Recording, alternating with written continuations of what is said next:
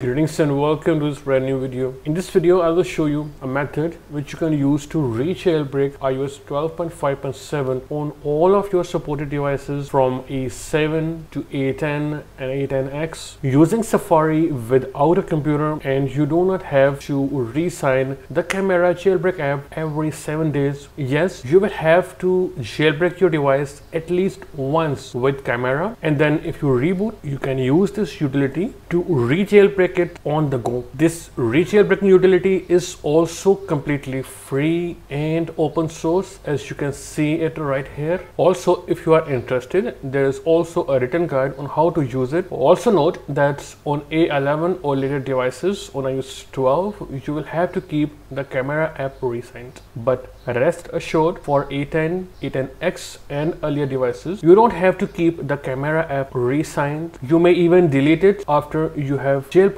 it using the Chimera app for the very first time. Now to use it, you will have to simply head to this official link. Now, as you can see right here, I have this device on iOS 12.5.7. It's an iPhone 6 and it is currently jailbroken with Chimera for the very first time. You see Sileo works and you can see the version here. Now I will reboot this device which will disable this jailbreak or it will unjailbreak this device.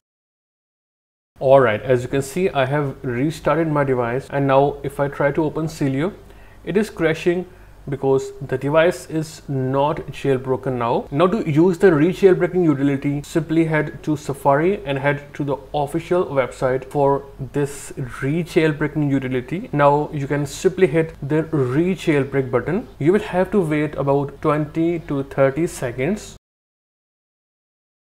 and you will see this message you will simply hit close and in a few seconds you will see re-jailbreak done. Now simply choose user space reboot. Between the user space reboot you will see the Chimera's logo and you will get to the lock screen go in and now if I open Sileo you can see it is opening just fine everything works you can see the version again right here 12.5.7 everything loads no problems whatsoever. Now just in case if the re-jailbreak fails you will see this message. This web page was reloaded because a problem occurred. Please don't worry. You can simply open the app switcher simply close the Safari page, reopen Safari, go to the official re-jailbreak website and simply try again and it will work. Now to make the re-jailbreak process faster and more convenient for you, you can simply open Safari and head to the official website for this re-jailbreak utility and then hit this share button, scroll a bit and then hit add to home screen